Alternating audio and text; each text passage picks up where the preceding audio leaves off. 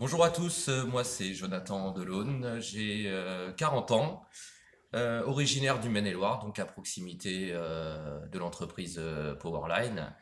Je pêche depuis mon, plus jeune âge, hein, depuis on va dire mes 4-5 ans. J'ai commencé au coup bien évidemment avec mon père et, mon grand-père.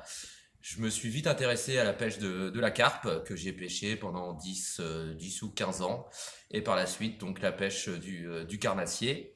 Je suis euh, sponsor Powerline depuis, euh, depuis 7 ans. Ma pêche de prédilection aujourd'hui, c'est plutôt basé sur les pêches fines, euh, la perche, le black bass et notamment tous les, parcours street fishing, puisque je fais le championnat de France street fishing.